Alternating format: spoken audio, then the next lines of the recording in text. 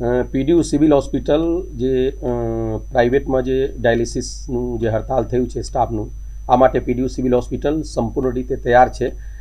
અત્યારે આજની પરિસ્થિતિમાં અને રૂટીનલી આપના પાસે ત્રેવીસ બેડ હોય અને ત્રેવીસ બેડ જે છે, આમાં અઠાર બેડ નોર્મલ બેડ હોય અને આમાં ત્રણ બેડ આપનું હેપેટાઇટિસ માટે રાખીએ છીએ, બે બેડ એચઆઈવી માટે છે અને આ ત્રણ શિફ્ટમાં ચાલતી હોય.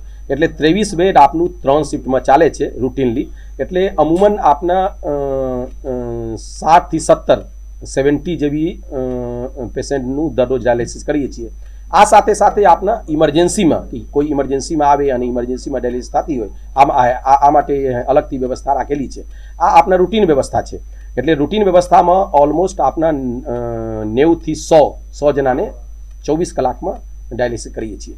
જ્યાં સુધી પ્રાઇવેટની વાત છે, આ માટે આપના આપના ઉપરથી પણ સૂચના આવી ગયું છે, આપના ઇન્સ્ટ્રક્શન પણ આપી દીધું છે અને આ ઇન્સ્ટ્રક્શન માટે એવી રીતે રાખેલી છે કે રૂટીન જે ચાલુ છે અને આ માટે ત્રણ બેડ બેથી ત્રણ બેડ અત્યારે બધાવાનું છીએ અને જે આપના ટાઈમિંગ હતું ટાઈમિંગ હતું કે આઠ વાગે ચાલુ કરીએ, આ નહીં, આપના અર્લી અર્લી મોર્નિંગ ચાલુ કરવાનું છે અને મેક્સિમમ મેક્સિમમ પેશન્ટને આપને લેવાનું છે અને અને જે જે ઇમરજન્સીમાં છે, ઇમરજન્સીમાં જે જે આવે આ બધાને આપનું સમાવેશ કરવાનું અને અને સ્ટાફનું પણ એવી ઇન્સ્ટ્રક્શન આપી દીધું છે. ડોક ડૉક્ટર અહીંયા બતાવી દીધું છે, એક સ્ટાફ બતાવી દીધું છે. એટલે કોઈ પણ પરિસ્થિતિ આવે તો આપના સિવિલ હોસ્પિટલ આ માટે સંપૂર્ણ રીતે તૈયાર છે.